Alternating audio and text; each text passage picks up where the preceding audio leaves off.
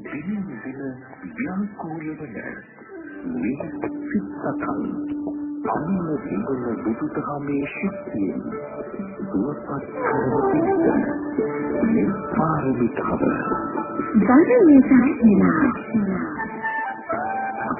ධර්මදර්ශන මොදෙකින් ධර්ම දේශනාවට වැඩම කොට බතාලේ ගරු දේශිකානන් වහන්සේ.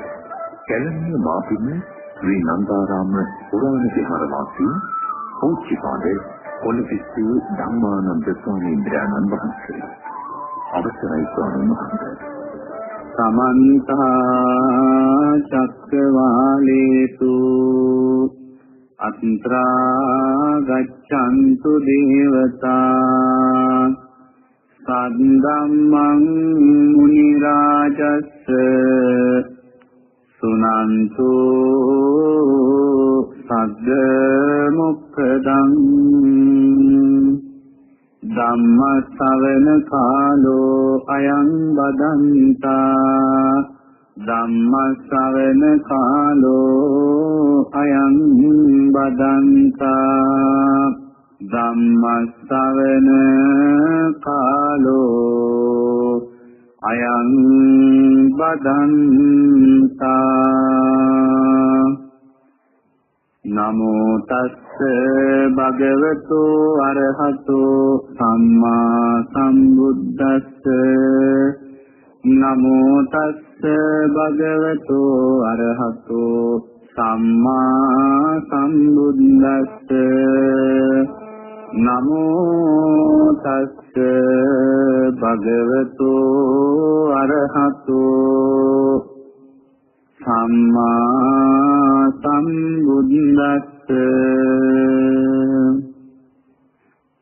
පූජනීය පින්වත් මහා සංඝරත්නයන් අවසරයි.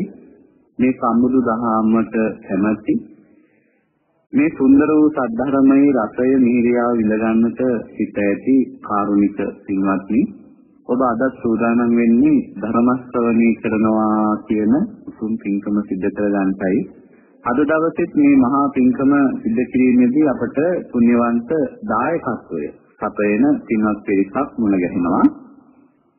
බෝගහවත්ත කොහුගමුව වැලිගම කියන ලිපිනේ පදිංචි WR ප්‍රේමනෝනා මහත්මිය මේ උතුම් පින්කමේ පුණ්‍යවන්ත දායකත්වයේ ධර්මයෙන් කටයුතු කරනවා. ඇය සමග මේ පින්කම දෙකතු වෙනවා. වී ගුණරත්න අංක 39 වෙඩිකන්දර පාර ගල්පිස්ස කියන ලිපිනේ පදිංචි එතුමා හේමානි කුමාරසිංහ ඇතුළු ඒ සහෝදර දරු පිරිස ඒ හැමදෙනාමත් මේ පින්කමට සහභාගී වෙනවා. ඉතින් ඒ දායකත්වයේ ධර්ම පින්වත් පිරිසට ඊටාම හොඳ අරමුණු කීපයක් තියෙනවා මේ පින්කමේදී. ඒ සියලු ප්‍රාර්ථනා අරමුණු ඒ වගේම ධර්ම ශ්‍රවණය කරන ඔබ අපි හැමදෙනාගේම යහපත් සිතුම් පැතුම් අපි සියලු දෙනාගේම ධර්මාවබෝධය කියන ඒකායන වූ උතුම්ම පරමාර්ථය කියන මෙන්න මේ සියලු අදිස්ථානයන් බලාපොරොත්තුන් සියල්ලම ඒ ආකාරයෙන්ම සමුර්ධ කරගන්න සඵල කරගන්න අද දවසේ සිද්ධ කරන මේ ධර්මානුශාසනාවත් එයින් ජනිත කුසලයක් එක ආකාරයෙන්ම උපකාර වේවා කියන අදිස්ථානයේ අරමුණ ඇතුව අපි අද ධර්ම දේශනාව ආරම්භ කරා. හිත, කය, වචනය කියන තුන්දර මනාව සංවර කරගෙන ධර්ම ගෞරවය හිතේ ඇති කරගෙන අදත් මම මේ කියලා දෙන දහම්කාරණ ටික බොහොම සාවධානව ශ්‍රවණය කරන්න. මොකද ඔබට මතක ඇති අපි ගිය සතියේ ආරම්භ කරපු මාතෘකාව සුවිශේෂී දහම් මාතෘකාවක්. ඒක ඔබේ අපේ ජීවිතවල ඉතාම විශේෂ සංසිද්ධියක්. ඒ තමයි කර්මය. කර්මය කියන මාතෘකාව තමයි අපි මේ දිනවල සාකච්ඡා කරන්නේ. ගිය සතියේ මේක අපි ආරම්භ කළා. යම්තාක් දුරට මූලික හැසිරීමක් සිදු කරගන්න ලැබුණා. අද දවසේ සම්පූර්ණ වශයෙන් අපිට හැකියතාක් දුරට විස්තර කරගෙන ඉදිරියට යනවා මේ කර්මය කියන මාතෘකාව සම්බන්ධයෙන්. එතකොට මේ ධර්ම කාරණා ටික අපි දෙලගස්සද්දී ඔබට වඩා පැහැදිලි ආකාරයට ඔබට වඩා තේරුම් ගැනීමට ලේසි වෙන විදිහට සරලව මම මේක පැහැදිලි කරන්න යනකොට ටිකක් වැඩිපුර කාලය ගෙවෙනවා. එහෙම වුණාම සමහරට අපිට සම්පූර්ණ වශයෙන් මේ මාතෘකාව අද කතා කරගන්න බැරි වෙන්නත් පුළුවන්. එහෙම වුණොත් අපි තවත් දිනයකට ඉතිරි දිගුවක් ඉතුරු කරලා අද දවසේ සාකච්ඡා කරමු. පින්වත්නි මම ඔබට එදා පැහැදිලි කළා මේ කර්මය කියන එක කවුරුවත් විසින් පනවන ලද දෙයක් නෙමෙයි කියලා. කවුරුවත් විසින් තීරණය කරපු එකකුත් නෙමෙයි කියලා. ඒ කියන්නේ මේ මේ පුද්ගලයාගේ කර්මය මෙයාට මෙන්න මෙහෙම සිද්ධ වෙන්න ඕන බෑ. මෙයාට මේ විදිහට සිද්ධ වෙන්න හොඳ නෑ. මෙයාට මේන්න මේ ආකාරයට සිද්ධ වෙන්න ඕන කියලා ඒක කවුරුවත් විසින් නියම කරන පනවන අනුමත කරන එකක් නෙමෙයි.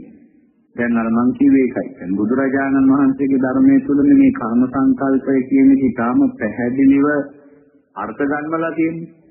එතකොට ගොඩාක් අය අද සමාජයේ හිතනවා මේ බුදුරජාණන් වහන්සේ කැමති දේ කර්මයයි බුදුරජාණන් වහන්සේ අකමැති දේ කර්මය නෙමෙයි කියලා. ඒ කියන්නේ බුදුහාමුදුරුවෝ කෙනෙකුට මෙහෙම සිද්ධ වෙන්න ඕන කියලා පනවනවා. ආ ඒක එයාගේ කර්මය. මෙයාට මෙහෙම වෙන්න එපා කියලා පනවනවා. ඒක එයාගේ කර්මය. කියලා සමහර අය හිතන් ඉන්නවා. ඒතර බුදුරජාණන් වහන්සේ ළඟට ගිහින් සමාව ගැනීමත් එක්ක තමන් කරපු කර්මයට සමාවක් තියෙනවා. ඒක ප්‍රතිඵල ගෙන දීමක් සිද්ධ වෙන්නේ නැතුව යනවා. බුදුහාමුදුරුවෝ ළඟ වැඳ වැටිලා අවසර සමාව ගැනීමත් එක්ක ඒ තමන් කරපු කර්මය අහෝසි වෙනවා. කියලා එහෙම සමහර හිතන්නේ ඉන්නවා. මොකද වෙනත් ආගම් වල එහෙම තියෙනවා.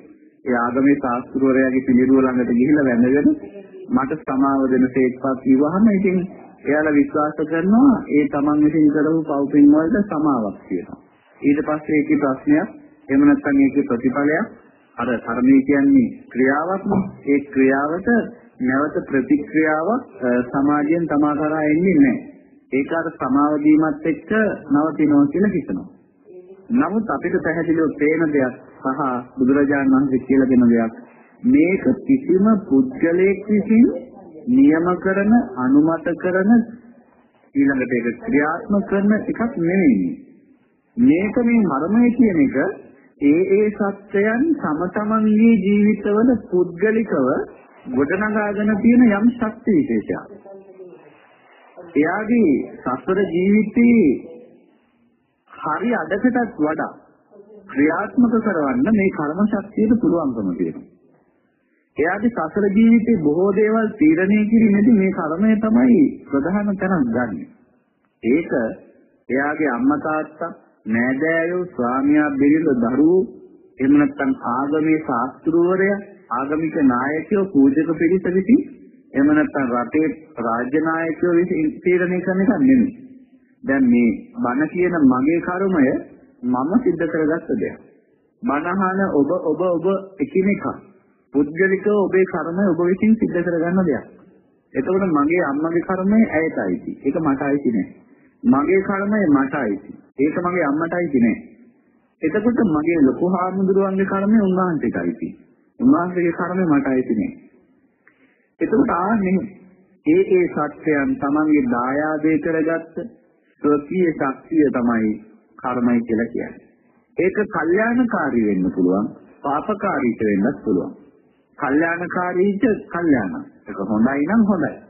පාපකාරීට පාපකයි. පව් නම් ඒක නරකයි නම් නරකයි.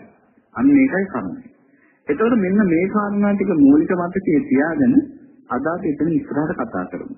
පින්වත්නි මේක හරි විශේෂ මාතෘකාවක්. මොකද අපේ ජීවිතේ අපිට පාලනය කරගන්න අපිට හදාගන්න හොඳ පැත්තට අපි අරගෙන යන්න නරක පැත්තට යනවා නම් මේකෙන් බේරගන්න තියෙන ලොකුම අවස්ථාවක් මේ කර්මය කියන ධර්මතාවය එක්ක අපි තේරුම් අරගෙන හරියට කටයුතු කිරීම.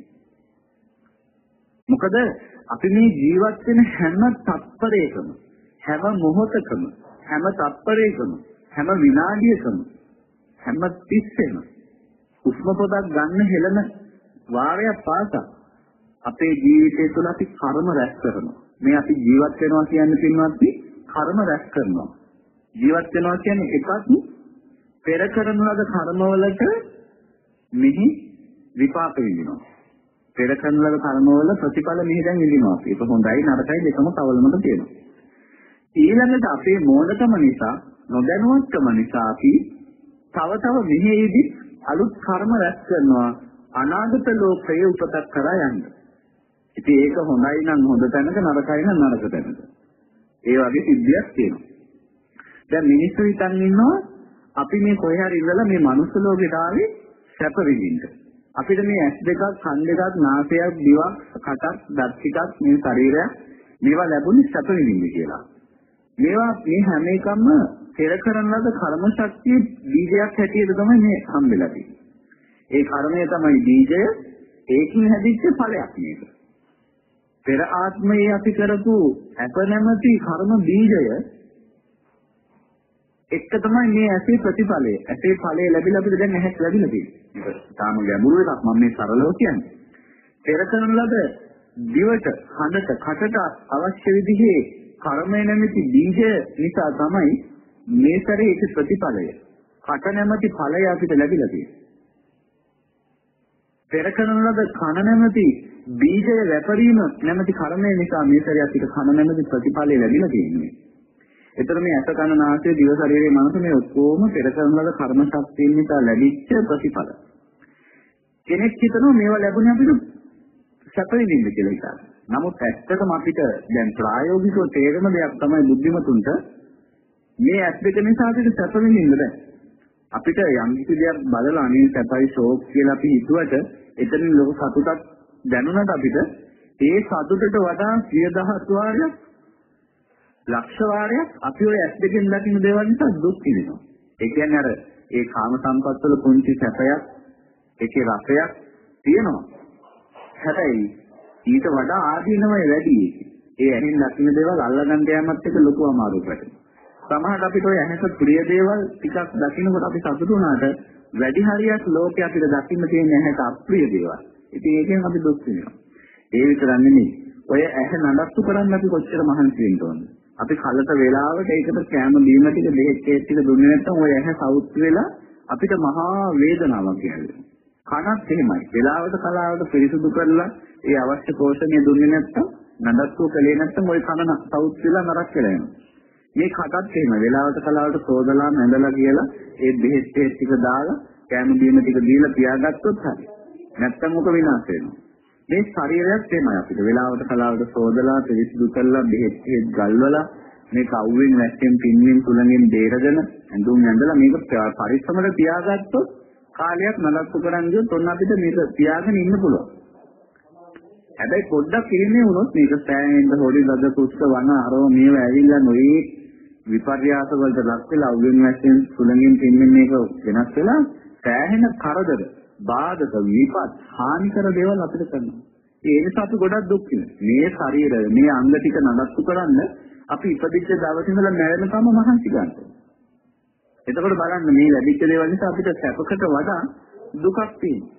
දැන් ඉඳගෙන ඉන්න මිනිස්සයා බලන්නේ කොහොමද ටිකක් කකුල් දෙක දිග ඇරලා ඇලවෙන්නේ කියලා. ඒ ඇලවෙලා ඉන්න කෙනා දැන් බලනවා අනේ දැන් මම නැගිටින්නේ කොහොමද? කොයි වෙලාවෙද නැගිටින්නේ? අනේ මේක හරි කරදරයි. නැගිටපු මිනිහා බලනවා දැන් මෙතන ඉඳලා බෑ ටිකක් ඇවිදින්න ඕනේ කියලා. මේ එකතන හිතන් ඉන්නේ කමාවුයි කියලා. ඇවිදින මිනිස්සයා බලනවා ටිකක් දැන් දුවගෙන යන්න ඕනේ කියලා. දුවගෙන යන මිනිස්සයා හිතනවා අනේ දැන් මේක අමාරුයි මම නවතින්න ඕනේ. නැවතින මිනිස්සයා හිතනවා දැන් මට හිතගෙන ඉන්න බෑ මට ඉඳ ගන්න ඕනේ. ඉඳගෙන ඉන්න මිනිස්සයා හිතනවා දැන් නම් ඉඳගෙන ඉඳලා එපා වෙලා. දැන් චුට්ටක් ඇලවෙන්න තිබ්බම හොඳයි. ඇලවෙනවා. ඇලවිච්ච මිනිස්සයා හිතනවා අනේ මේ මිනිහ හොඳට ටිකක් නිදා ගන්න. ඔන්න හරි බරියෙක නිදිය ගන්න. නිින්ද ගිහිල්ලා ඇහැරුණා මෙතන අනේ දැන් නම් නැගිටින්න. මේ නිින්දල එපා වෙනවා. මේක තමයි දිගටම යන්නේ. එක තැනකවත් අපිට සැපක් නැහැ. ඒ පුංචි ඇතිල්ලක පොඩි සැපයක් තිබුණා වැඩි හරියක් ඊට වඩා මේ දුක් විඳින එක තමයි තියෙන්නේ. ඔන්න කර්මයේ සාමාන්‍ය ප්‍රතිඵලය. එනිසා මේ කර්මය ගැන හරියට දැනගෙන හිටියොත් ජීවිතය ගැන කලකිරෙන්නේ නැතුව අනවබෝධයෙන් විනාශයන් කරා යන්නේ නැතුව ඔය යම් යම් හානි කරදර විපත් වෙනකොට කලකිරලා ජීවිත විනාශ කරගන්න සිය ජීවි නසා ගන්න අනිත් අයව මරන්න කපන්න කොටන්න ගිනි තියාගන්න එහෙම විපත් වලට යන්නේ නැතුව මේක හරියට තේරුම් අරගෙන ඒකට නියම විදිහට ක්‍රියාත්මක වෙලා පිළිතුරු දෙන්න අපි දක්ෂ වෙනවා. අපිට මොලේ පෑදෙනවා. ඒකට මේ කර්මය වැදගත්. දැන් මම ඔබට ගිය සතියේ කියලා දුන්නා මේ කර්මයේ ප්‍රධාන කොටස් හතරක් තියෙනවා කියලා. විපාක දෙන ක්‍රමය, විපාක දෙන කාලය, විපාක දෙන ඒ කර්මයේ කෘත්‍ය සහ අන්තිම දෙයින් ලැබෙන ප්‍රතිඵලය. මේ විදිහට ප්‍රධාන කොටස් හතරකට බෙදෙනවා. ඒකෙන් මම පළවෙනි කොටස ඒ කියන්නේ අර විපාක දෙන ක්‍රමය.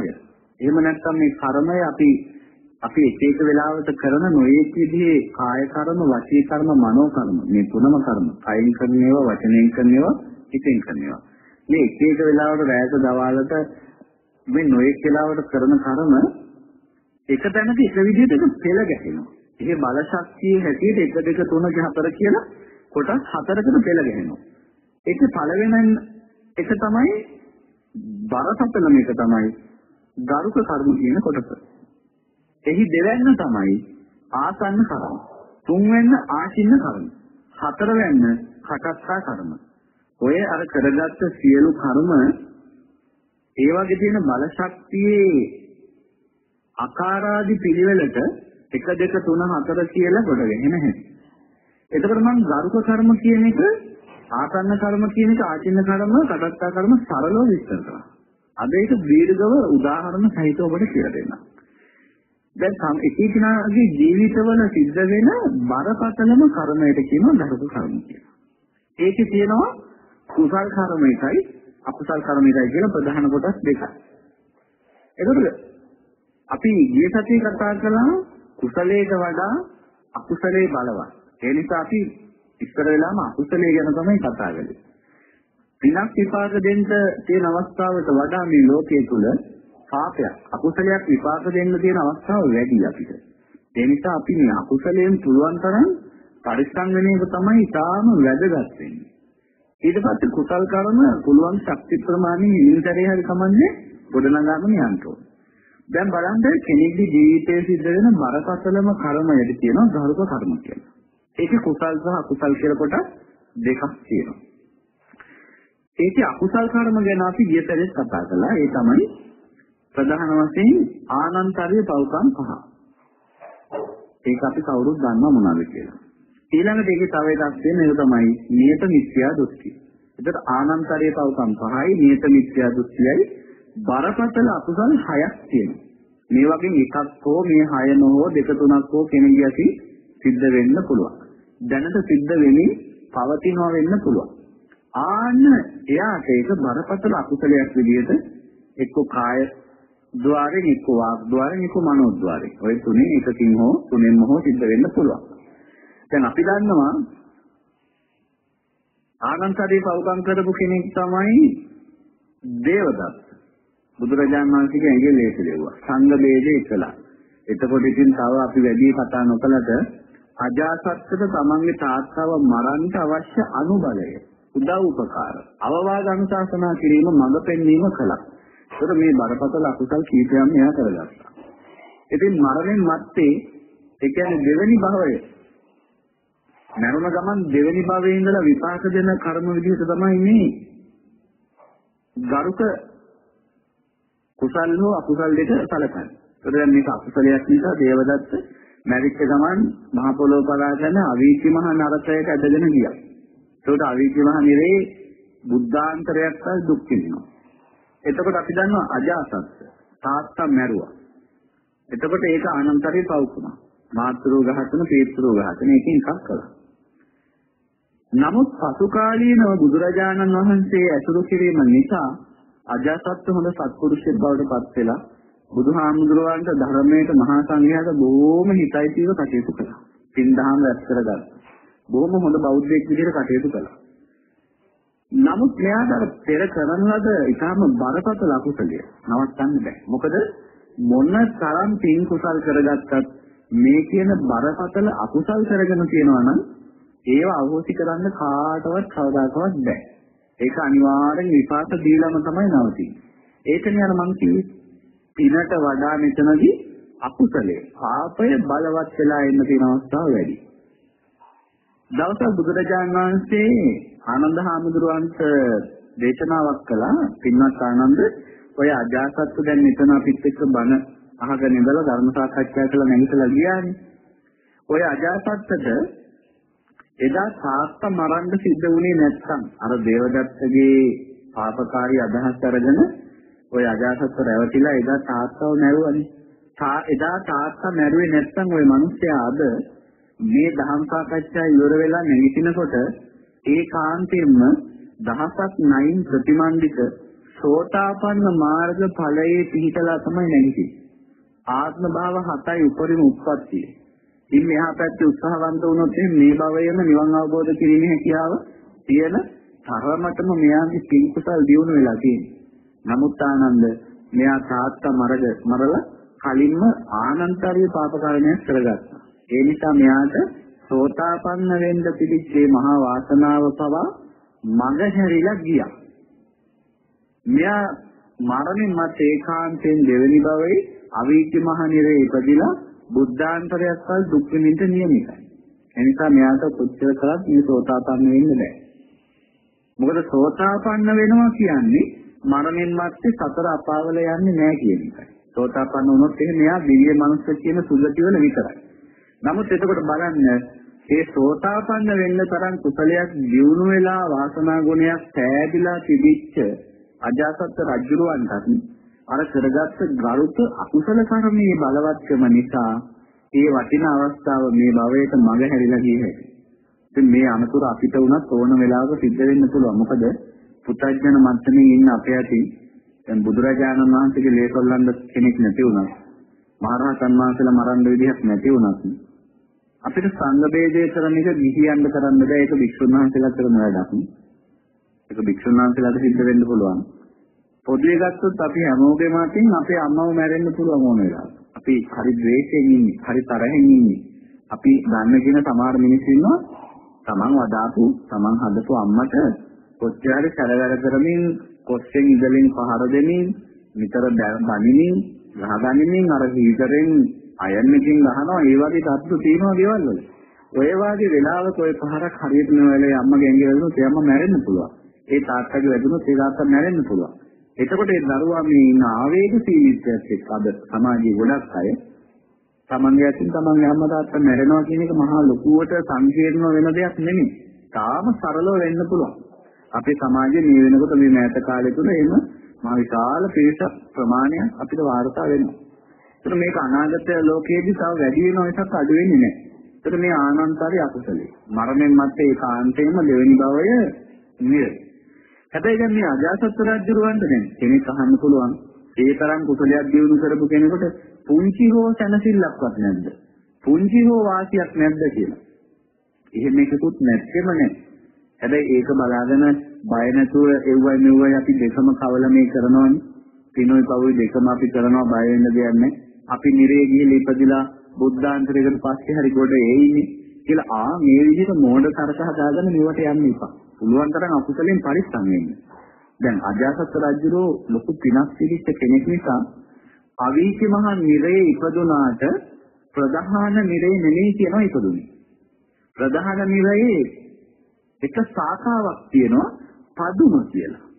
පදුම කියන අවීචියේ මේ ප්‍රධාන ශාඛාවේ තමයි අජාසත් රජුරෝ උපදී.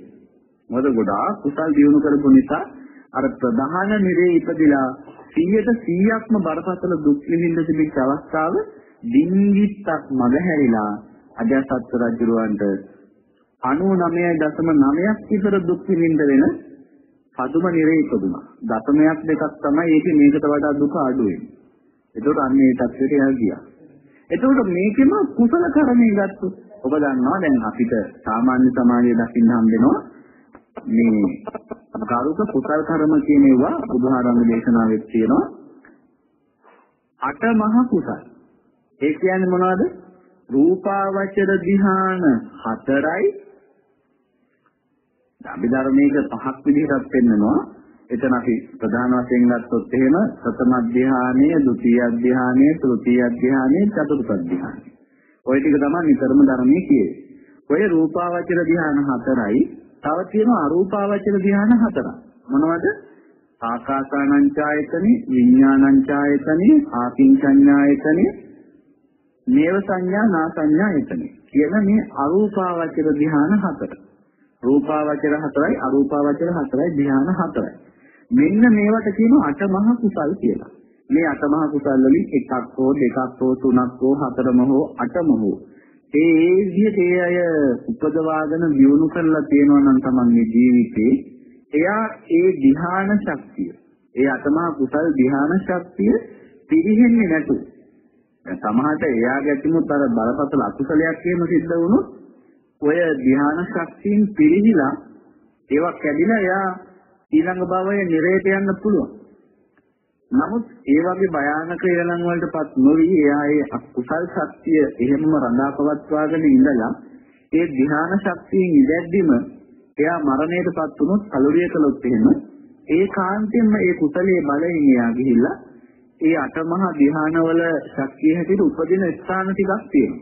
අපි මේ දේශනාව අවසානයේදී කර්මය නිසා සත්‍යයන් උපදින ස්ථාන කියලා වෙනම මාතෘකාවකදී ඔබට ඉතාම පැහැදිලි වේ කාරණා ටික කියලා දෙන්න. දැන් සරලව හිතන්න අපිට මරණයෙන් මත්තේ උපදින්න භවතල 31ක් තියෙනවා. ඒ 31කින් ඉහළම තියෙන භවතල 20ක්. ඒ 20ට කියන්නේ බ්‍රහ්ම ලෝක කියලා. අන්නේ බ්‍රහ්ම ලෝක 20න් මේ ධ්‍යාන අටට අදාළ විදිහට ලෝක ධාතු වෙන් වෙලා තියෙනවා. ඒ තැන්වල එයාලා ගිහිල්ලා උපදිනවා. ඕපපාතික. ඒ අටමහා කුසල් වලින් එකක් දෙකක් තුනක් ඕන විදිහකට ඒක දිනු කරලා තියෙන හැටි. දැන් අපිට උදාහරණයක් විදිහට ගත්තොත් අපිට ගන්න ආලාර කාලාම. අපේ සිද්ධාර්ථ තාපසතුමාගේ ගුරුවරයා. උද්දක රාම පුත්‍ර. ඊළඟට බහාරගව. ඒ වගේ අය බලන්න බුදුරජාණන් වහන්සේ පළවෙනි ධර්ම දේශනාව කරන්න හිතුවේ කාටද මම කියන්නේ. බලන්න. හොඳම බුද්ධිමතුන් තමයි ඒ වෙනකොට හිටපු ආලාර කාලාම. උද්දක රාම පුත්‍ර. බහාරගව. එයාලට මේක කිව්වනම් එයාලා ඉතාම ඉක්මනින් මේ ධර්මයේ තේරුම් ගන්නවා. මොකද ඒ වෙනකොටත් එයාලා ගොඩක් අර අටමහ කුසල් දියුණු කරලා තිබිච්ච උත්තරම. කොහෙද ඉන්නේ කියලා බැලුවහම උන්වහන්සේට පේනවා එයාලා ඊට පෙර දවසේ කලුරේ කළා. එයාලා කර්මානුරූපව ගිහිල්ලා ඒ අරූපාවචර ධ්‍යානෙ උපතවලා තිබුණේ. ඒ නිසා එයාලා ගිහිල්ලා අරූපාවචර රත්ම ලෝකවල ඉපදිලා මරමින්මත්. ඉතින් එයාලට ධර්ම දේශනා කළ ඇති වැඩක් නැති නිසා තමයි භාග්‍යතුන් වහන්සේ තීරණය අත්හැරලා ඊළඟට පස්වක තවසන් හොයාගෙන වඩින්නේ. ඒ කුසල කර්ම. මේ බරපතල කුසල කර්ම සිද්ධ කිරීමේ අවසාන ප්‍රතිපල. ඕන්න ගරුක කුසලයේ සහ අකුසලයේ ගැන සාමාන්‍යයෙන් ඔබට තේරෙන විස්තරයක්.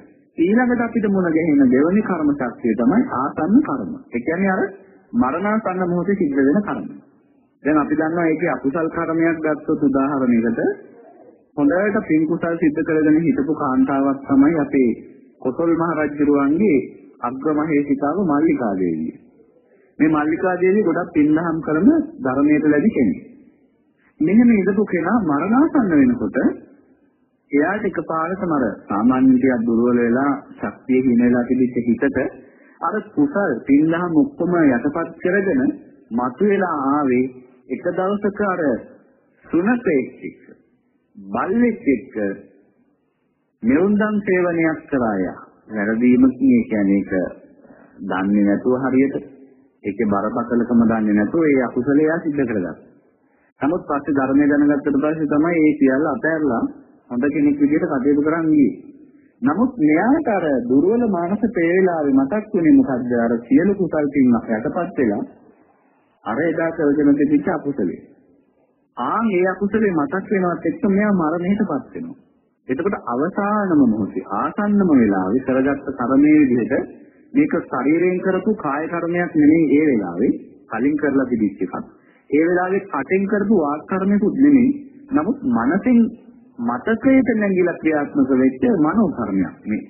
මරණාසන්න වෙලාවේ මනෝ කර්ම තමයි ගොඩක් දුරට තියෙන්නේ. මොකද මරණාසන්න වෙලා ලෙඩ ඇඳින්න ලෙඩුන්ගේ අතින් ඇඟෙන් පව් සිද්ධ වෙන්නේ නැහැ. ගහන්න බනින්න මරන්න විදිහක් නැහැ කෙනෙක්. කටින් කෑ ගහලා ගොඩක් දුරට මුසාව කේලම පරස වචන මේවා කියන්න අවස්ථාවකුත් නැහැ. දුර්වලයි. හැබැයි ශරීරයයි වචනයයි දෙක දුර්වල වුණාට මනස හොඳට හෝ නරකට කොයි පැත්තකට හෝ වැඩ කරනවා. දැන් මේ වෙලාවේ නරක පැත්තට වැඩ කරපු නිසා අකුසලයේ ක්‍රියාත්මක වුණා මනසෙන් මනෝ කර්මයක් විදිහට ඒක මනසෙන් ක්‍රියාත්මක වුණත් ඇඟෙන් ක්‍රියාත්මක වුණත් වචනෙන් ක්‍රියාත්මක වුණත් ආසන්න කර්මය වෙලා ඉවරයි. මල්ලිකා දේවිය ගිහිල්ලා නිරයේ ඉපදුනා දින 7කට. මොකද ගොඩක් කුසල් කරගෙන තිබිච්ච කෙනෙක් අරක පරණ අකුසලයක් මනෝ කර්මයක් විදිහට මතුවලා ඇවිල්ලා තමයි ක්‍රියාත්මක වෙලා විපාක දුන්නේ. ඇයගේ කුසල් බලය වැඩි නිසා සතියකට තමයි නිරේ දුක් විඳින්න නියම වුනේ. ඒ කාලේ නිරේ දුක් විඳලා සතියකට පස්සේ එතනින් සුත වෙලා ඒ ආයත අවසන් වෙලා ආයත කියන්නේ ඇත්තටම නිරේ කර්මය. අකුසල් කර්මයේ බරපතලකමේ හැටියට ආයත ලැබෙනවා. මෙයාගේ අකුසල් කර්මයේ ලොකු බරපතලකමක් නෑ ඊට වඩා කුසල් දියුණු කරනවා. මොකද මෙයා ආනන්තරිය කුසල් කරපු කෙනෙක් නෙමෙයි. ආනන්තරිය අකුසලයක් හෝ නියත මිත්‍යා දෘෂ්ටියක් හෝ කළා නම් අනිවාර්යෙන් බුද්ධාන්තරයක් සිටිය යුතුමයි. ගොඩ එමක් නැහැ. මල්ලිකාට එහෙම ප්‍රශ්නයක් නැහැ. ඇය කෙටි කාලයක් මේ දුක විඳලා අකුසලයේ එක්ක ගොඩ ගෙහිච්ච ආයුෂ ඉවරුනාට පස්සේ ආ එතනින් සුත වෙලා සුගතිගාමි වුණා. ඒක අකුසලයේ පැත්තට. කුසලයේ පැත්තට ගත්තාම අපි දන්නවා අපි වංශ කතා වෙනවා දුටු ගැමුණු මහරජතුමා. එතුමා මරණාසන්න වෙලාවේ සේවකයෝ විසින් එතුමාව රුවන්වැලි මහා සෑය අඩක් නිම කරලා තිබිච්ච ඒ රුවන්වැලි සෑය ළඟට අරගෙන ගියා. ඇඳ උඩින්ම ඇඳේ තියාගෙනම මහා සෑය ප්‍රදක්ෂිනා කළා. අන්තිමට එක තැනක කියලා මහා සංඝයා ත්‍රිවිධ දේශනා කරන රුවන්වැලි සෑය දිහා බලාගෙන බොහොම සතුටෙන් හිත පහදවාගෙන හිටියා. එතුමා සිද්ධ කරපු පින්කම් එහෙම අනිත් අය අමාත්‍යවෝ සිහි කළා.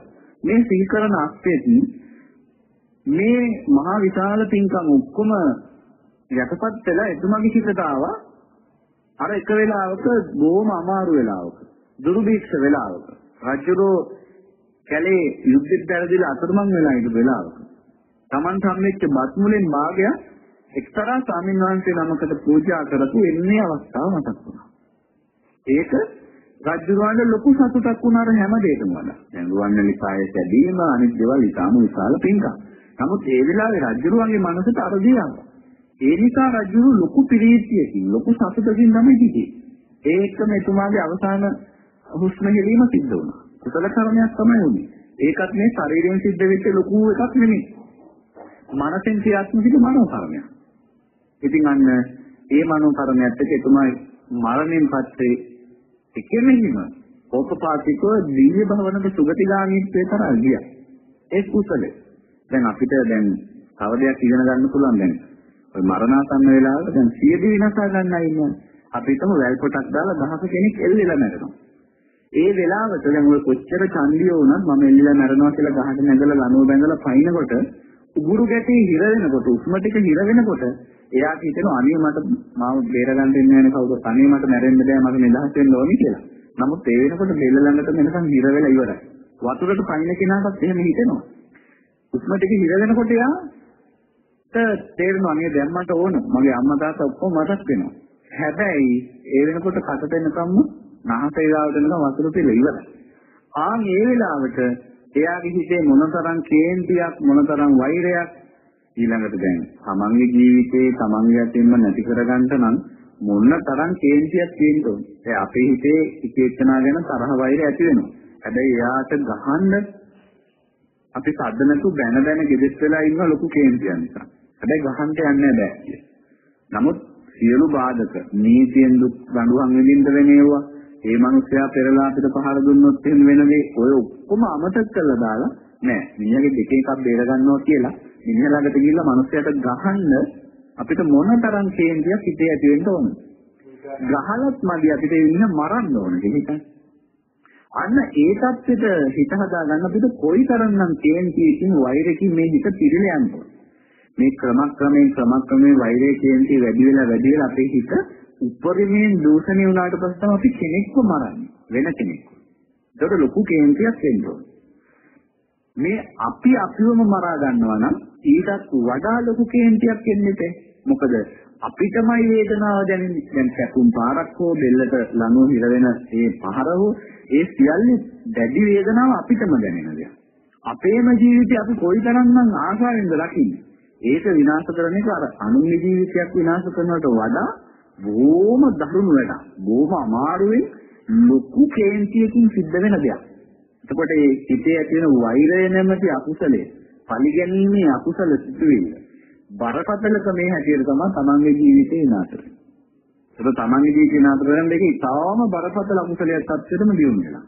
ඉතින් ඒ වෙලාවේ ඒ ඇති වෙන අකුසල කර්මය ඉතාම බරපතල නිසා ඔය සියදි විනාශා ගන්න බොහෝ දෙනෙක් අපිට හිතෙනවා මේ ධර්මයත් එක්ක ගලපලා බලද්දී ඒකාන්තයෙන්ම මරණයන් මැත්තේ ඊටාම බරපතල දුක්ඛිත සතර අපාවලින් ඊටාම භයානකම අපායෝත්පත්තියකට යන කෙනෙක් බවට පත් වෙනවා. ඒක මේ ආසන්න කර්මය අකුසලයක් කර ගැනීමත් එක්ක. ඒක එක. ඊළඟ තුන්වැන්න මම කියව ආචින්න කර්ම කියලා. ඒ කියන්නේ අර ජීවිතේ වැඩි කාලයක් හුරු කරලා නිතර නිතර සිතෙන් කයින් වචනෙන් කරලා තිබුණ කුසල් හෝ අකුසල්. දැන් ඒකේ අපිට අර අකුසල් පැත්තට අපිට හම් වෙන ওই නන්දසේන රත්නපාල ශූරීන්ගේ එතුමාර සාමාන්‍ය සමාජයට බැහැලා අධික්ෂණය කරපු කාරණා ටිකක් එක ග්‍රන්ථ කීපයක් නිර්මාණය කළා. අර මනුෂ්‍ය ප්‍රේතයෝ ඒ වගේ දේවල්. ඒ වගේ අපිට පේනවා එයාලා ඒ චරිතවල නිතර ජීවිතේ යාලා රැස් කරන කටයුතු මොනවද කියලා. කරන ක්‍රියාකාරකම් මොනවද කියලා. සමහර අය ජීවිතේ රස්සාව කරගෙන තියෙන ගව ගහගෙන. නැත්තම් මතුන් නැති. නැත්තම් මත්ද්‍රව්‍ය සකස් කරලා බෙදා හරින. එයාගේ ව්‍යාපාරය. එතකොට එයා උදේ ඉඳලා හවස වෙනකන් ඒ කර්මාන්තය තමයි දෙකට එයාගේ චිත්ත, කය, වචනය මේ තුනම ක්‍රියාත්මක වෙන්නේ ඒ කියන වැඩ පිළිවෙලත් එක්ක. එතකොට එයාගේ ජීවිතේ වැඩි හරියක් ක්‍රියාත්මක වෙලා තියෙන අකුසලයක්. එක්කෝ ඒ සත්ත්ව ඝාතන නැත්නම් මද්ද්‍රව්‍ය සකස් කොට බෙදා හැරීම එහෙම නැත්නම් සමහර වෙන හොරකම් කරනවා. ඒක තමයි එයාගේ ජීවනෝපාය. ඒතර සමහර වෙන බොරු කේලම් කියලා සමහර ලොකු ලොකු අයත් ඉන්න ඉගෙන ගත්තා. පුළුවන් තරම් හොඳට බොරු කියන්න පුළුවන් නම් හරි දේ වැරද්ද කළා වැරදි දේ හරි කරලා කියන්න පුළුවන් නම් නඩු එහෙම හොඳට දිනවල දෙන්න පුළුවන් නම් අන්න එයාටත් හොඳට ව්‍යාපාරයක් කරගෙන යන්න පුළුවන්.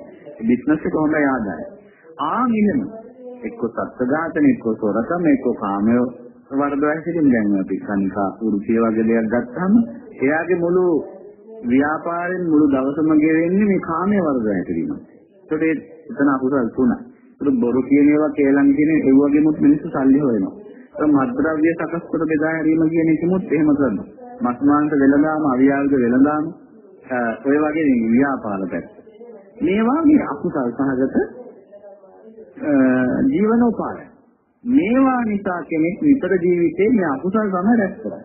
ඒතර මරණසන්න වෙනකොට එයාගේ අව මේ ලොකු අමාරුකම මරණසන්න ලෙඩක් හැදිලා ඉස්පිරිතාලේ ඉන්නකොට නම් එහෙනම් අර වැඩි හරියක් කරගත්ත දේවල් තමයි මනසට එන්නේ නැග ක්‍රියාත්මක වෙලා.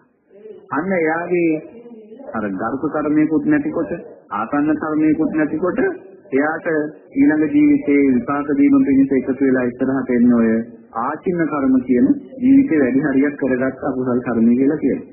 එතකොට ඕකේ කුසල් කර්මයක් කියන්න පුළුවන්. දැන් අපි දන්නවානේ නිතර නිතර දන් දෙන අය ඉන්නවා, සිල් රකින්න අය ඉන්නවා, බණ භාවනා කරන අය ඉන්නවා. නිතර නිතර මම්මාව සුද්ධ පවිත්‍ර කරමින්, ලිංගපුණ සුද්ධ පවිත්‍ර කරමින් ඔය විදිහට පින්නත් වැඩ නිතර කරන අය ඉන්නවා. දැන් වෛද්‍යවරයෙක් ගත්තොත් බොහොම හිත ප්‍රසන්න කරගෙන, බොහොම ආදරය අනුකම්පාව හිතේ ඇති කරගෙන රැකුපක් හම්බ වෙන එක වෙනම කතාව. රෝගියාට ප්‍රතිකාර ටික කරනවා. හෙද නිලධාරිනියක් අපි ගත්තොත් එහෙම සාස්ත්‍ර සේවකයෙක් අපි ගත්තොත් එහෙම එයා වැටුපක් ලැබෙනවා වුණාට බොහොම ප්‍රසන්න හැඟීමෙන් බොහොම හොඳ හිතේ ආදරයෙන් කරුණාවෙන් අර රෝගීන්ට උපස්ථාන ටික කරනවා. එයා නිතර එතකොට වෘත්තීය මට්ටමින් අර කරගෙන යන රස්සාව නිසාම ඒක හොඳ හිතින් කිරීමත් එක්ක මෙයාට හොඳ කුසලයක් වෙනකුත් නිතර උදේ ඉඳලා හැන්ද වෙනකම් රැස් වෙනවා. ඒකට ඒක ගැන පස්සේ හිතන්නත් පුළුවන් නිකන් ඉන්නකොට රැයට. මම මෙහෙම අද මෙහෙම කෙනෙකුට මෙහෙම උපස්ථාන කළා. මෙහෙම අමාරු විදිහට බෙදෙන්න ළඟට ගිහින් මම මෙහෙත් ටික දුන්නා. එයාට හොඳට කතා කළා. ඒ මනුස්සයාගේ හිත සතුටෙන් hina වෙලා ඉන්නවා මම දැක්කා. මම කතා කරපු නිසා හිත හැදිලා. ආන් ඒ ටික මෙයා නිතර මෙනෙහි කරනකොට ඒ කාය නැවතනකොට මනෝ කර්මයක් වෙලා ඒකත් කුසලයක්. අන්න එහෙම කුසල් සහ අකුසල් කියන ජීවිතේ වැඩි හරියක් කෙරෙන ඒවා. ඉතින් ඒවා ඒ ජීවිතයේ අවසාන මොහොතක හෝ සාමාන්‍ය ජීවිතය ගෙවන් යද්දී විපාක දෙන්න ඉස්සරහට මතුවලා එනවා. ඒ කුසලයි. ඊට පස්සේ කටත්තා කර්ම කියන කොටස අපිට එනවා. ගරුක කර්මත් නැහැ, ආසන්න කර්මත් නැහැ, ආචින්න කර්මත් නැති කෙනෙක් ඉන්නවා. එයාට කටත්තා කර්ම. ඒ මොකද්ද? ජීවිතේ කවදා හරි දවසක මේ ජීවිතේ ඉපදුන දවසේ ඉඳලා මේ ගෙවාගෙන ආපු අවුරුදු ගාන ඇතුලේ කවදා හෝ දවසක එක්ක හිතෙන් වෙන්න පුළුවන් එහෙම නැත්නම් කයින් වෙන්න පුළුවන් එහෙම නැත්නම් වචනෙන් වෙන්න පුළුවන් සිද්ධ වෙච්ච මොකක් හෝ කර්මයක් එයාට පැන නැගලා ඇවිල්ලා ඒ ඒ වෙලාවට විපාක දෙන්න සකස් වෙනවා ඒවට ඉතින් උදාහරණ කියනවා නම් දැන් සමහර අය ඉන්නවා මුළු ජීවිත කාලෙම නිකන් රස්සාව කරනවා ඒකෙන් හොරකම් කරන්නේත් නැහැ වංචා කරන්නේත් නැහැ හම්බෙන වැටු කරගෙන ඇවිල්ලා ගෙදර දරු මල්ලන් එක්ක කාලා බීලා ඔහේ ජීවත් වෙනවා. ආයේ සිල් ගන්න යන්න බණහන් යන්න අනිත් අයට දන් ටිකක් දෙන්න පිට කෙනෙකුට උදව්වක් කරන්න එහෙම කන්නේ. හැබැයි ඔය ඉන්න අතරේ ගෙදර බල්ලට කැම ටිකක් දීමෝ ඉඳලා හිටලා දෙනවා. ඒක උනත් යම් කිසි පිනක් නේ. එයාට යම් වෙලාවක පිනක් ඇත්තෙම නැත්තම් ඒ පින ඇවිල්ලා විපාක දෙන්න ඔන්න පටන් ගන්නවා. ඉතින් ඒක ඉතින් අර හොඳ ලොකු ලොකු පින්කම් විපාක දීලා මිනිස්සු ඉන්නවනේ.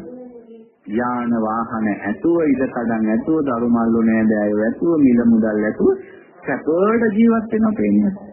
අන්න ඒ වාගේ ඊටම ඉහළ සැපයක් කරා යන්නේ ඒ දින තමයි උපකාර වෙන්නේ නැහැ. මෙයාටත් ඉතින් අර සතාට වගේ කාලා බීලා අවුවට වැස්සට පින්නට ඉන්න යම් කිසි තැනක් ඔන්න හම්බෙලා. මේ දුප්පත් මිනිස්සු මොකක් හරි කල්පතක් තියෙනවා. කොහොමද සම්බෝලු බතේ හරි කන්නක් තියෙනවා. ඉතින් කාලා සාමාන්‍ය ජීවත්. ඒ කුසලයේ ප්‍රතිඵලයකට එහෙම වෙන්න පුළුවන්. අකුසලුත් ඉතින් ඇත්තටම පිනට වඩා කොහොමත් අපේ ජීවිතවල අපි නිකන් ගෙදෙත් වෙලා හිටිය බොහෝ දුරට අකුසල් සිද්ධ වෙනවා. මොකද ශරීරයෙන් අපි අත පාවිච්චි කළා කෙනෙකුට ගැහුවේ මැරුවේ නැති වුණාට කෙනෙකුගේ දෙයක් හොරකම් කළේ නැති වුණාට කාමයේ වර්ධව හැසිරෙන්න අපි ඇඟ අරගෙන ගියේ නැති වුණාට අපි කටෙන් කෑ ගහලා පරුස වචන මුසාව කියලාම නොකියුවට මේ මනස කොච්චර හරි අනුන්ගේ දේවල් වලට ආසාවෙන් ඇදලා යනවා. පුතඥන ස්වභාවයේ කාගේ හරි දෙයක් දැක්කාම අයියෝ මේක මට තිබුණා නම් කියලා ඇදලා යනවා. එතනම ලෝභ සාගත කර්මයක් ඒක අකුසල් කර්මයක් විදිහට රැස්ලා ඉවරයි. තරහක් ඇති වෙනවා. නමුත් මට තරහ ඇති වුණාට ඒ මිනිහට ගහන්න, බනින්න, මරන්න මට බෑ. එච්චර හයියක් නෑ. මම ඉතින් හිතෙන් ඒ මිනිහව මරනවා. හිතෙන් ඒ මිනිහට වෙදි කියනවා. අන් ඒක අකුසල කර්මයක් විදිහට ද්වේෂ සහගත අකුසලයක් විදිහට මේ හිතේ ගොඩනැගිලි ඉවරයි කර්මයක් විදිහට. ඒක ක්‍රියාත්මක. ඊළඟට දැන් අද සමාජයේ ගත්තාම පින්වත් මේ මිත්‍යා දෘෂ්ටිය කියන දැන් මනසෙන් සිද්ධ වෙන අකුසල් තුනයිනේ. දැඩි ලෝභය, බද්ධ වෛරය, මිත්‍යා දෘෂ්ටිය. ඉතින් ඔය මිත්‍යා දෘෂ්ටිය කියන එක අද කාලේ ගොඩක් අය ළඟ දැන් හිතන්නකෝ දැන් මම හොරකම් කරන්නේ නැහැ, මිනි මරන්නේ මම පව් කරන්නේ නැහැ. මම මගේ රස්සාව හරියට අවංකව කරලා ගෙදර මගේ දරුවොත් එක්ක ජීවත් වෙනවා. මට ඔය අමුතුවෙන් පින්කම් කිරීමක් අවශ්‍ය නැහැ කියලා හිතන අය ඉන්නවනේ. මට ඉතින් පන්සල් යන්න සිල් ගන්න බණ අහන්න ඕනේ නැහැ මොකද මම පව් කරන කෙනෙක් නෙමෙයි. කියලා අන්න ඒ මතින් ඉන්න අය ඉන්නවනේ. ඒතකොට එයාලගේ අතින් අමුතු පාපයක් සිද්ධ වෙන්නේ නැහැ. අමුතු පිනක් සිද්ධ වෙන්නේ නැහැ. හැබැයි ඔය වගේ මෝඩ මතයක ඉන්නකොට ඒකට කියන්නේ මිත්‍යා දෘෂ්ටිය කියලා. මිත්‍යා මතයකින් ඒ කියන්නේ මේ මට පින්පව මුකවත් ඕනේ මම සාධාරණව ඉන්න මිනිහෙක්. කාටවත් කරදරයක් නැති මිනිහෙක්. ඒක මට මේ ඇති. කියලා හිතන එක මිත්‍යා දෘෂ්ටියක්. එතකොට එයාට එහෙනම් අර මහන්සි වෙලා කරගන්න තියෙන පිනක් කෙරෙන්නේ නැහැ කොහොමද? හැබැයි නිතර අර මිත්‍යා දෘෂ්ටික මනසකින් මට පින්පව් කියන වැඩක් නැහැ. කියන තත්ත්වෙන් ඉන්නකොට එයාට මිත්‍යා දෘෂ්ටිය නැමැති දරුණු අකුසලය මනසින් ක්‍රියාත්මක වෙලා ඉවරයි. එතකොට අන්න එයාට ඔය කියන කටත්තය කරුනේ. ඒ ඉඳලා හිටලා කොයියම්ම හෝ වෙලාවක ජීවිතේ සිද්ධ වෙච්ච දෙයක් අවසාන මොහොතේ විපාකයේ පිණිස සකස් වෙලා එන්නේ. ඒක ඔන්න ඔය විදිහට තමයි කර්මයේ පෙළ ගැස්ම. පෙළ ගැස්ම කියන්නේ ඒ කරගත්ත කුසල් හෝ අකුසල් වල තියෙන බරපතලකමේ හැටියට 1 2 3 4 කියන අංක හතරක් පෙළගෙන. මේ අංක ක්‍රමයේද පෙළ ගැහිච්ච මේ කර්මය ඊට පස්සේ අපේ ජීවිතේට ඒ ඒ වෙලාවන් වල ඒ ඒ වෙලාවන් වල විපාක දෙන්න පටන් ගන්නවා. ඒ විපාක දෙන කාල පරිච්ඡේදත් බුදුහාමුදුරුවෝ කොටස් හතරකට බෙදලා වෙන් කරනවා. ඒ ඒ කර්ම ශක්තියින් වල තියෙන බල ශක්තිය ඒ වෙලාවට පරිසරය සකස් වෙලා තියෙන විදිහත් ඒ කර්මය විපාක දෙන්න තියෙන පුද්ගලයාගේ උපත සිද්ධ වෙලා තියෙන විදිහත් මේ හැම දෙයක්ම සැලකිල්ලට අරගෙන අර කාලය කියන එක වෙන් වෙලා තීරණය වෙලා එනවා. ඒකත් මේ මෙයාට මෙන්න මේ වෙලාවට මේ කර්මේ විපාක දෙන්න ඕන. මෙයාට මේ වෙලාවට විපාක දෙන්න හොඳ නෑ කියලා කවුරුවත් තීරණය කරන එකක් නෙමෙයි. ඒක අපි විසින් කරගත්ත අපේම කර්ම ශක්තිය ස්වභාවිකවම ක්‍රියාත්මක වෙන ක්‍රමයක්. දැන් මෙතනදී බුදුහාමුදුරුවෝ අපිට පෙන්නනවා කොටස් හතරක්. කර්ම විපාක දෙන කාල විදිය. පළවෙන්න තමයි විත්ත ධම්ම වේදනීය. දෙවැන්න තමයි උපපච්ච වේදනීය. තුන්වැන්න අපරාපරිය වේදනීය. හතරවැන්න අහෝසි. මෙන්න කොටස් හතර. දැන් මේකත් අපි සරලව විස්තර කරගමු අද කාලයත් එක්ක. විත්ත ධම්ම වේදනීය කියලා කියන්නේ මේ ආත්ම භාවයේදීම මරණයට ඉස්සර වෙලා මේ කර්මය කරපු භවයේ ඇතුළෙම මැරෙන්න කලින් කවදා හරි දවසක මූණ දෙන්න අත්දකින්න සිද්ධ වෙන විපාකය. දැන් අකුසලයක් නම් අපි ඒකට විපාකය කියන එක ප්‍රතිඵලයක. කුසලයක් නම් අපි ඒකට ආනිසංසය කියනවා. මේ ජීවිතේ කරගත්ත කාය කර්මයක්, මනෝ කර්මයක්, වාක් කර්මයක්. මේ තුනෙන් එකක් හෝ තුනම හෝ තියෙනවා. ඒවට කියන්නේ කර්ම. අපි හිතමු ඒකෙන් අකුසල කර්මයක් සිද්ධ වෙලා තියෙනවා. අකුසල මනෝ කාය වාක්. ඉතින් එකක් කියලා තියෙනවා. ඒ කරගත් අකුසල කර්මයේ ඵල විපාකය මැරෙන්න කලින් කොහොම හරි මේ පණ තියෙද්දි මේ ආත්මය ඇතුලේ මේ භවය ඇතුලේ යාට විපාක දෙන්න සිද්ධ වෙනවා විපාක විඳින්න සිද්ධ වෙනවා ඒකට කියන්නේ වික්ත ධම්ම වේදනීය අකුසල කර්ම විපාකය මේ භවයේදීම විපාක දී කුසල කර්මයන් නම් ඒත් එහෙමයි මැරෙන්න ඉස්සර වෙලා ඒ කරගත්ත කුසල කර්මයේ ඒ ශක්තිය මේ ජීවිතයේ ඇතුළෙම ආනිසංසයක් විදිහට යාට සැප පිණිස එනවා. ඒක ඇවිල්ලා වික්ක ධම්ම වේදනීය කුසල කර්ම විපාක දී. එතකොට අපි අර කොටස් හතරකට මේක බෙදුවනේ කර්මයේ විපාක දෙන කාලය කියලා. වික්ක ධම්ම වේදනීය උපපජ්ජ වේදනීය අපරාපරි අවෝසි කියලා. මේ හතරෙන් එතකොට එකක් ඇවිල්ලා මෙතන මෙලවදී විපාක දෙනවා. ඒකෙන් අපිට තේරෙන්නේ මොකද්ද? අපි කරන ලද මේ සෑම කුසල් හෝ අකුසල් හෝ මේ කර්ම જાති දෙකෙන්ම හතරෙන් එකක්. හොඳට මතක තියාගන්න. මේ කුසල් අකුසල් කියන කර්ම જાති දෙකෙන්ම හතරෙන් එකක් මෙලවදීම අනිවාර්යෙන් අපිට විපාක දෙන දේවල්. ආනිසංස පිණිස ගෙන දෙන දේවල්. දුක් විපාක නම් දුක් විඳින්න, සැප ආනිසංස එනකොට සැප විඳින්න. ඒවා මේ පණ පිටින් ඉන්න මේ ජීවිතේම අත්දකින්න සිද්ධ වෙන දේවල් හැටියටයි භාගතුන් වහන්සේ පෙන්නන්නේ. ඒකට කියන්නේ වික්ක ධම්ම වේද. හතරෙන් එකක් මෙලවදීම විපාක දෙන. දෙවැන්න උපපජ්ජ වේදන. ඒ කියන්නේ මේ දෙවෙනි ආත්මේ ඉඳලා විපාක දෙන්න තියෙන කුසල් හෝ අකුසල්.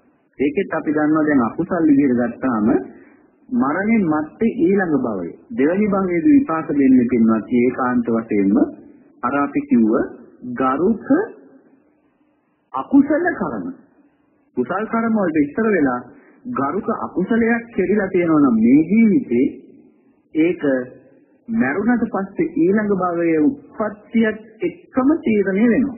ඒ කියන්නේ දැන් මෙතන ඉන්න මේ ධම්මානන්ද හාමුදුරුවෝ බරපතල අර ගරුක ගණේලා සැලකෙන අකුසලයක් කරලා තියෙනවා. මම මේ කය බිඳිලා මරණයට පත් වුණ විගසම මං ගිහිල්ලා නිරය උපදින. ඒ නිරය උපදින්නේ අර ගරුක අකුසලේ ප්‍රතිඵලයක් හැටියට. නිරේ ඉපදිලා බුද්ධාන්තරයක් කල් එක දිගට දුක් විඳිනවා. ඒක ඒ ගරුක අකුසල කර්මයේ ප්‍රතිඵලය. එතකොට බලන්න ගරුක අකුසලයේ කියන එක තමයි දෙවෙනි භවයේ උත්පත්තියක් හැම දෙයක්ම එතනින් ඉස්සරහට ගමනක් තීරණය කරන්නේ. කුසලයට ඉක්මන් වෙන්න දෙන්නේ නැහැ දෙවෙනි භවය. ඒකට කියන උපපජ්ජ වේදනී. දෙවන ආත්ම භාවයේදී විපාක දෙනවා. එතන බලන්න මම කිව්වේ ඒකයි පිනට කුසලයට වඩා පාපේ බලවත් වෙලා එතන දිනනවා. දෙවන භවයේ විපාක. ඉතින් කුසලයක් නම් දෙවෙනි භවයේ සුගති ගාමීත්වය ඇති කරනවා. හැබැයි එතකොට බලපතල අකුසලයක් සිද්ධ වෙලා තියෙන්න බෑ. අර අජාසත්තට වගේ. දේවදත්තටත් එහෙමයි වුනේ. ඊළඟට අපිට පෙන්නනවා අපරාපරිය වේදනීය. අපරාපරිය වේදනීය කියන්නේ ආත්මයෙන් ආත්මය, ආත්මයෙන් ආත්මේ නොකැඩී ඉස්සරහට දිගටම යන පින් හෝ පව්. අපි ඒවා ඊටාම විස්තරාත්මකව පස්සේ කතා කරනවා නැවත නැවත. ඉපදෙන ඉපදෙන භවයේ නිවන් දකින්නකම් ওই ටික විපාක විදී විපාක විදී ඉස්සරහට යනවා. පින් කුසල් වල ආනිසංස නම් විහෙත සැප පිණිස හේතු වෙවි යනවා. අකුසල් වල විපාක නම් ඒවා දුක් පිණිස විපාක විදී ඉස්සරහට යනවා. ඒ ආත්මෙන් ආත්මය අනිකර තමයි අපරාකාරී කියන්නේ. ඊළඟට අපිට හම් වෙනවා අහෝසි කර්ම. අහෝසි කර්ම කියලා කියන්නේ මේ ඒ සත්‍යයන් කරගෙන තියෙන යම් යම් සුළු සුළු අකුසල් තියෙන ඒවා බරපතල කුසල් කරගන්නකොට යටපත් වෙලා අහෝසි වෙලා යනවා. විපාක දෙන්න කාලයක් නැතු වෙලා යනවා සමහරට. ඒ මොකද? දැන් කෙනෙක් ඉන්නවා එයා පව් කරගෙන තියෙන මේ බරපතල ආනන්තරී පව්කම් කරගෙන නැහැ. සාමාන්‍ය සාමාන්‍ය අකුසල් කරගෙන තියෙනවා. නමුත් එකපාරට මෙයාට බුදු කෙනෙක් හෝ ධර්මයේ මුණ ගැහිලා එයා ධර්මයේ දියුණු කරන්න පටන්ගෙන එයා කෙලෙස් දුරු කරලා සෝවාන් සකදාගාමි අනාගාමි අරිහත් කියන தත්ත්වයටමපත් වෙනවා. අරිහත් කියන தත්ත්වයටපත් වුණාට පස්සේ එයා මරණින් මත්තේ ඊළඟ භවයකට යන්නේ නැහැ. මේ ජීවිතෙන් මේ සංසාර ගමන යන්නේ අවසන්. ආ එතකොට අර කරගත් අකුසල් සමහරට සුළු සුළු වශයෙන් මේ ජීවිතේ විපාක දෙනවා. දැන් බුදුරජාණන් වහන්සේට පෙර ජීවිතවල කරගත් අකුසලයකට අර ඉසිරුජාවක් හැදුනා. පිටේ කොල්ලේ අමාරුවක් හැදුනා. ලෝහිත පක්ඛන්දිකාව හැදුනා. දේවදත්තගේ ගල් පෙරලීම නිසා සිරිපතුල තුවාල වෙලා ඒ වේදනාව උනාට ලැබුණා. මේ මේ මේ කියන විදිහට අර කරගෙන තියෙන යම් යම් අකුසල් සුළු සුළු වශයෙන් විපාක දෙන්න පුළුවන්. මේ අවසාන භවයේ. එහෙම විපාක දීලා මරණයටපත් වුණා. අපි කියන්නේ පිරිනොම් පානවා කියලානේ. ඒ වගේ උත්සමය. පිරිනොම් පෑවට පස්සේ ඒ කතන්දරේ ආයේ ඉස්සරහට යෑමක් නෑ. තව විපාක දෙන්න ඉතුරු වෙලා තිබුණාට කර්මය කෙනෙක් නෑනේ දැන් සත්වයේ පුද්ගලෙක් ඊළඟ භවයේ නෑ. ඒ අය නිවන් අවබෝධ කරලා ඉන්නේ. නැවත උපතකට යන්නේ නැති අය. ඒ නිසා අන්න එයාගේ කර්මය අවුති වෙලා යනවා. හැබැයි අපිට තේරුම් ගන්න තියෙන්නේ ඉන්නේ එහා පැත්තේ නිවන් දකින්නකම්ම ඒ තම තමන් කරගත්ත යන්තාක් දුරට තියෙන අකුසල් අනිවාර්යයෙන්ම කොහොම හරි විපාක දෙනවා. සුළු වශයෙන් හෝ විපාක දෙනවා. 100 100ක් අහෝසි වෙලා යamak වෙන්නේ නැහැ. කුසලයක් එහෙමයි. කුසලයක් ඉතින් පොඩි පොඩි කුසල් කර්ම බරපතල අකුසල් කිරීමත් එක්ක බලයේ හීන වෙලා සුළු වශයෙන් ආනිසංස ලබා දෙනවා. අකුසලයේ බලය වැඩි වෙනවා. බරපතල කුසල් කර ගැනීමත් එක්ක අකුසල් ටික ටික අඩු වෙනවා. හැබැයි විපාක දෙන්නේ නැතුවම යන්නේ නැහැ. සුළු සුළු වශයෙන් හෝ විපාක දෙනවා. ප්‍රධාන වශයෙන් එතකොට අර ජීවත් වෙලා ඉන්න කාලේ ඉපදෙන සසර ගමනේ නැරෙන සසර ගමනේ යනකොට ඕක කොහොමද පිළිඳ වෙන්නේ.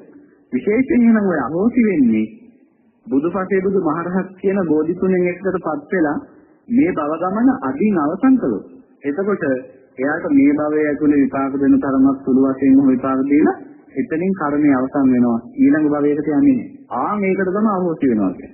කෙනෙක් හිතයි හරි බය වෙන්න දෙන්නේ අපි ඉතින් ওই පව් කරාට පස්සේ පස්සේ පින් දහම්මක් කරානේ ඒකව අහෝසි වෙලා යයි කියලා එහෙම බය නැතුව ඉන්න පුළුවන්. අකුසලයට බය නැති වෙන්න පුළුවන්.